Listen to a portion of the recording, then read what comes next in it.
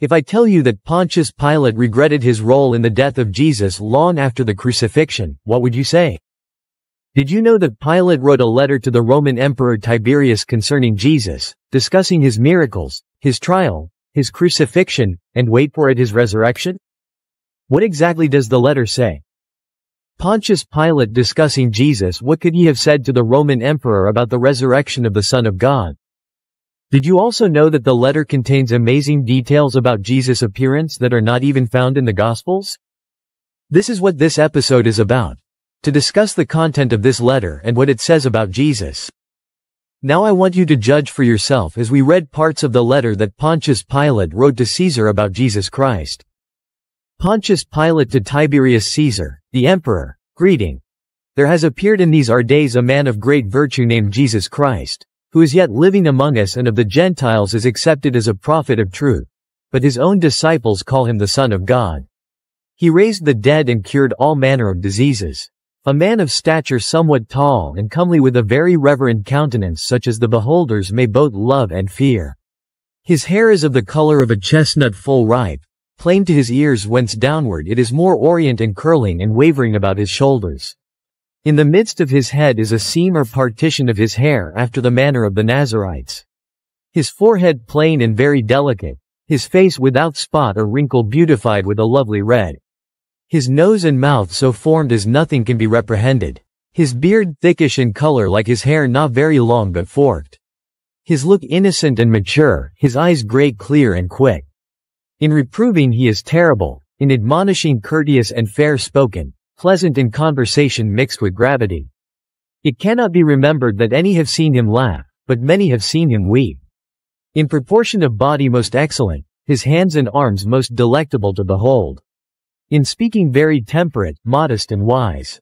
A man for his singular beauty surpassing the children of men, but at length the chief priest moved with envy against him to take away his life resorted to me with one accusatorial who betrayed him and with violence drew him to me, who being examined by me concerning the basis of their accusations answered them with much modesty and with no sign of reluctance though he was at times adorned with great eloquence.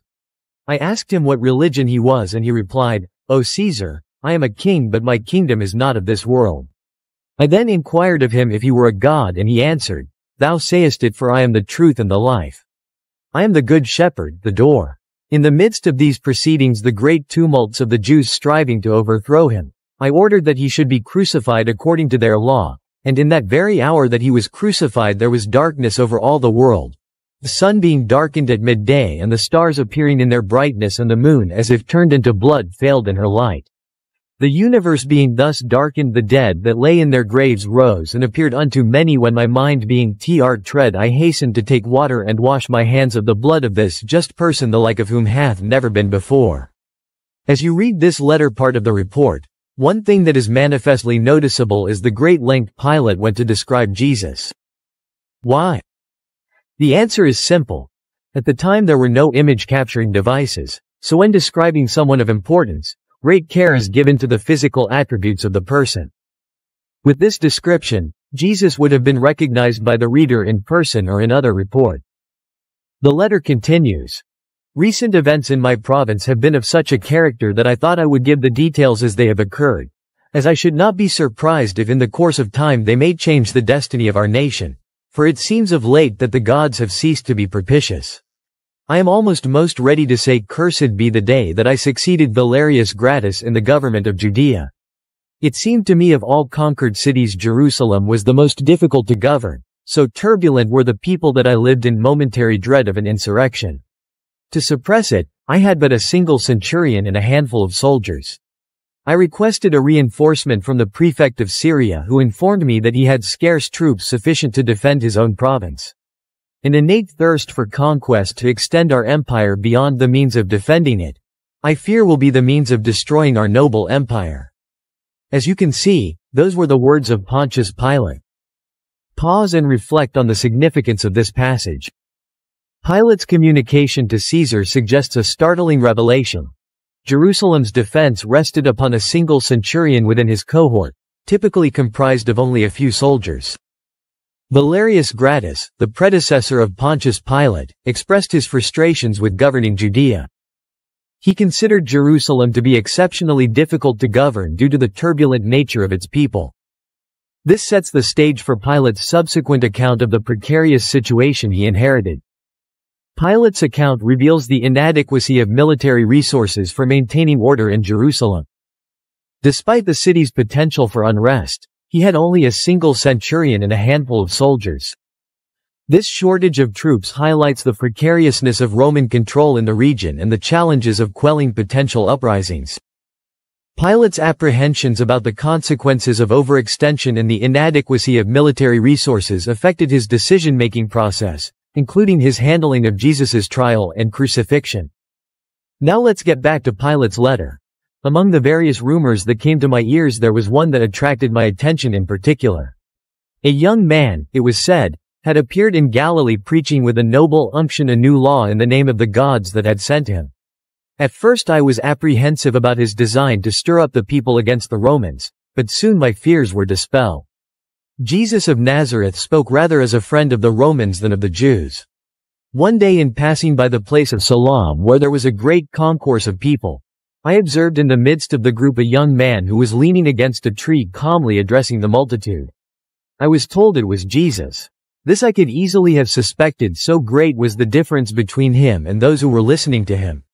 His golden-colored hair and beard gave to his appearance a celestial aspect. He appeared to be about 30 years of age. Never have I seen a sweeter or more serene countenance. What a contrast between him and his hearers with their black beards and tanned complexion. Let's stop to comment on this as well because I believe this is the only recorded explanation of Jesus' appearance in all historical documents.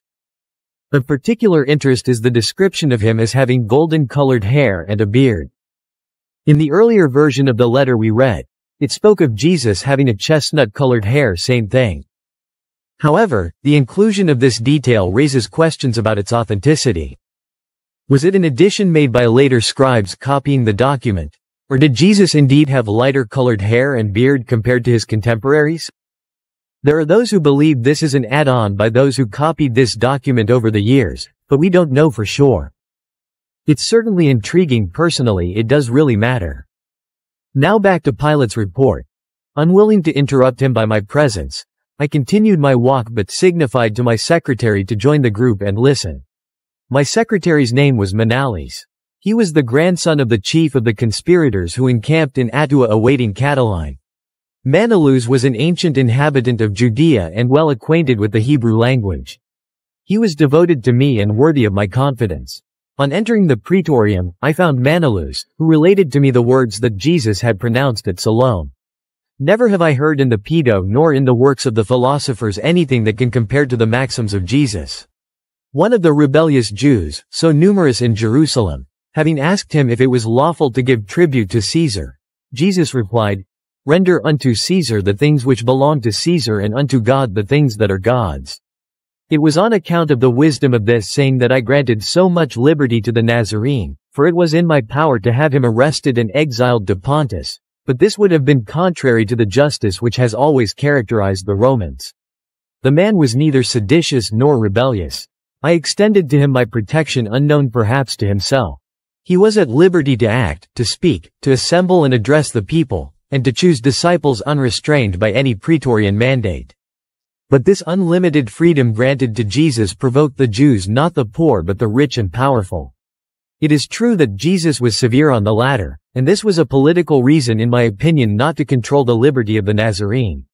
Scribes and Pharisees, he would say to them, you are a race of vipers, you resemble painted sepulchres. At other times he would sneer at the proud alms of the publican, telling him that the mite of the poor widow is more precious in the sight of God. New complaints were daily made at the praetorium against the insolence of Jesus. I was even informed that some misfortune would befall him, that it would not be the first time that Jerusalem had stoned those who called themselves prophets, and that if the praetorium refused justice an appeal would be made to Caesar. However, my conduct was approved by the Senate and I was promised a reinforcement after the termination of the Parthian War. Being too weak to suppress a sedition, I resolved upon adopting a measure that promised to establish the tranquility of the city without subjecting the praetorium to humiliating concession. Dear viewers, I hope you have been listening carefully. Pilate knew all about Jesus for a long time, but he allowed him his freedom to preach and to move about because he saw no rebellious spirit in him in spite of the pressure from the then Jewish religious leaders. He did not find any reason to prosecute Jesus well until it became expedient for him. It was only when he feared an uprising from the Jews and knowing he does not have the military resources to assert control that he sacrificed Jesus. He gave Jesus up for the peace of Jerusalem. That seems poignant, does it not, given what we know of the mission of Jesus? In any case, Pilate hesitated to crucify Jesus, opting instead to hand him over to quell the political unrest of the time and prevent potential uprisings. Clearly, Pilate was an opportunist. He only cared for his power and authority. He may have washed his hands many times but the blood of the innocent will linger forever. Yet we are glad that he left this message for us. Now we know from a documentary evidentiary point that Jesus indeed lived and was crucified. Before we end this episode, let's look at one more piece of evidence about Jesus from Pilate. Let us look at what has become known as the Pilate Stone. What does the Pilate Stone say about Jesus' crucifixion? The Pilate Stone, also known as the Pilate Inscription, is an ancient artifact discovered near Caesarea Maritima in Israel. It is a dedicatory inscription on a limestone block. It is significant because it provides archaeological evidence of the existence of Pontius Pilate, the Roman governor of Judea who is mentioned in the New Testament accounts of Jesus' trial and crucifixion. We have been reading the letter of Pilate to Caesar, but what is the evidence that Pilate existed? Well, this artifact, the Pilate stone, proves that Pontius Pilate was flesh and blood and existed during the time of Jesus. The inscription on the Pilate stone reads, To the divine Augusti this Tiberium Pontius Pilate prefect of Judea. Roman leaders tend to see themselves as gods, hence the moniker, to the divine Augusti. Today we know that Caesarea Maritima is located along the Mediterranean coast of Israel. It was a significant ancient city and administrative center during Roman times. The Pilate stone was found reused in the staircase leading up to a theater at the site. It was identified by archaeologists due to the Latin inscription carved into the limestone block. In conclusion, Put together both the letter of Pilate and the stone of Pilate shows the existence of Pontius Pilate as well as prove the story about the ministry and crucifixion of Jesus Christ. It also tells details about the physical appearance of Jesus that were not included in the canonical Bible. Thank you for watching. Don't forget to like this video and subscribe to this channel. God bless you. Amen.